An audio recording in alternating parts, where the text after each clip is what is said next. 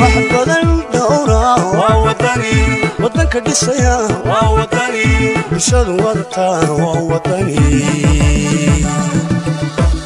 weynuhula jiraa waa wadani waa wadani ismiga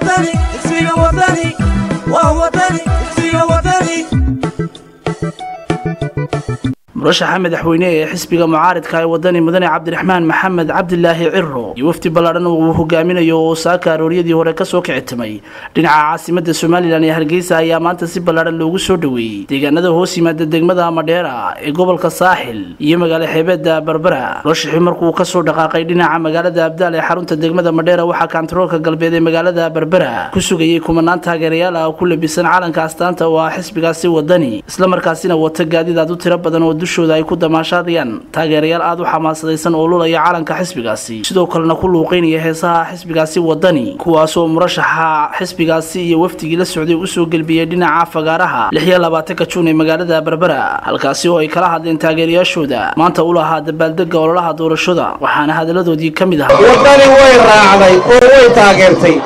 Waxaynu ku jirnaa ololihii doorashada. Waxaynu ka dagaalamaynaa laba. Qabyaaladda waa ka dagaalamaynaa oo diintuna ma oggola bani aadamnimaduna ma oggola jiritaanna ma laha qabyaaladdu. Musow ama nashiid ama shaani tuur shacabkani wuu bislaaday shantan waa dhacaysaa. Ee sheekh muusoo baybay si markay balaayadu timaado balaayadu yaqaanaayo wa howlgalo uu wa howlgalo muuse wax dadkan u soo wadaa ma jirto. Siisiina bartayna waa dagaal. Wasiirnimada daakilna intuu ahaana waa kii dagaalka iyo dhibaatada uu ku jiray. Wax kaloo qaar baa idhahda siisii leeyahay garanaya ha ka yaabin maalin dhawayto weligii iyo allihii sidii halkanba looga sheegay. Mar buu xukun mar buu taliyaha. Mar buu wasiir noqday. Mar buu xukunka qabtay.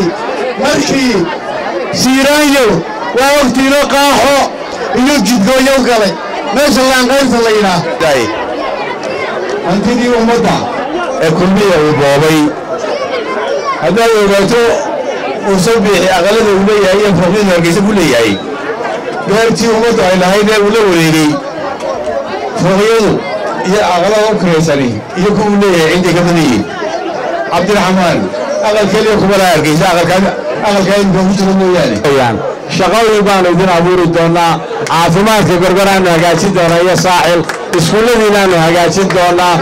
Waxaannu ka shaqayn doonnaa inaannu kaabayaasha dhaqaalaha oo dhan wax ka qabanno waa ogsoon dhaqaalaha ummadda somalilan wuxuu ku dhisan yahay berbera dhulkii berbera maanta golaha deegaanku ma bixiyo. Xagee laga bixiyaa dhulka berbera madaxtooyada oo maayarka waxba ma bixiyo uu iska fadhiya loon maaya meesha. Waxaa la yidhi ilaa konton kilomitir waa la bixiyey dhinac kasta magaalada marka laga eego. Dhulkii loogu talagalay inuu kayd u noqdo dekedda iyo haamaha iyo madaarka intiiba waa la bixiyey intaasiba waxaan leenahay waa sharci daro